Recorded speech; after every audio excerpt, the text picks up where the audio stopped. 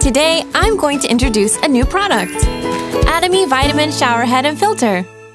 Let's take a look at the shower head first. Wow, it's so beautifully designed. So there's a filter around the handle and another one in the back.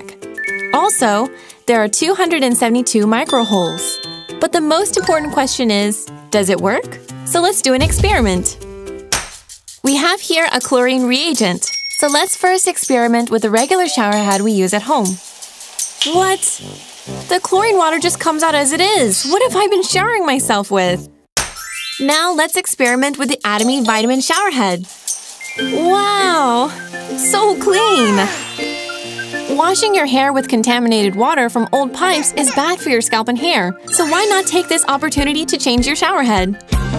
Atomy Vitamin Shower Head and Filter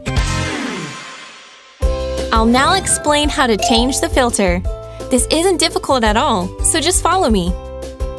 This filter around the handle is called the sediment filter. You just turn it like this to remove the old filter, put in the new one, and assemble it. There's another filter in the back of the shower head. This is called the vitamin gel filter. You turn the back part like this, take out the old filter, put in the new vitamin filter, and reassemble it. So easy, right? Change the sediment filter every 3 to 4 months and change the vitamin gel filter every month or two. So let's give our skin some vitamin from now on. Atomy Vitamin Shower Head and Filter.